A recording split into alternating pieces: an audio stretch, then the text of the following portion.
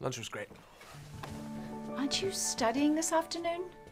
Look, the ice is perfect right now. I think I'm gonna go to the rink for another hour and then hit the books afterwards. Yet another advantage being homeschooled. We've been through this before, You're free to walk out the door. but I think it needs to be said. Too much hockey's not good for the head.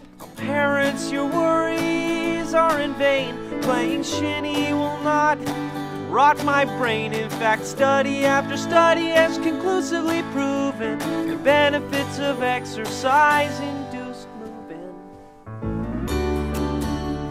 Look at the temperature, it's colder than Venus. You'll get frostbite on your back. Toe.